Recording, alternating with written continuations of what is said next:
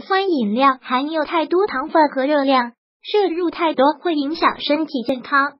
这个道理所有人都知道，但每天喝可乐到底会对身体造成怎样的影响，却没有直观的对比。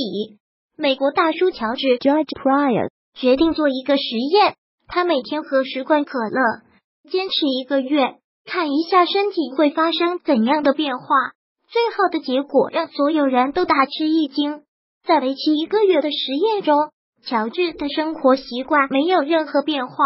只是每天多喝十罐可乐，在整个实验的一开始，他的体重是一百六十八磅，七十六点二公斤，体脂肪率则是百分之九点四。看来这位大叔平常都有在锻炼哦。血压则是一百二十九，七十七，然后就是一直喝，一直喝，一直喝。乔治的体重不停增加，不停增加，最后达到了一百九十磅，约八十六公斤。他的体脂率也从九点四百分号变成了百分之十六，血压从一百二十九七十七升高至幺四五九十六，远高于幺二零八十的理想水准。心脏疾病和中风的风险大大增加了。实验前 V，S 实验后，乔治希望更多人看到这个实验结果，知道喝可乐是自己摄入了多少糖分，这会影响人的身体健康。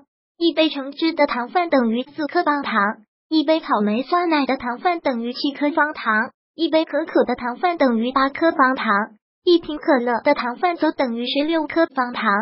除了体重以外，可乐对牙齿的伤害也很大。一位妈妈做了一个实验，把牙齿浸在可乐里，看看会有什么变化。浸了五天，已经变成这样了；第十六天，已经完全变成紫色。第四十一天，牙齿已经弱到可以用针轻松穿透了。虽然现实生活中很少有人每天喝十罐可乐，但也有不少人将碳酸饮料代替饮用水。这些习惯都会给身体健康造成不良影响。看了这个实验，你还敢喝可乐吗？吃喝玩乐游购在美国，请关注华人生活网。如果喜欢本视频，请分享并订阅本频道，别忘了按赞哦！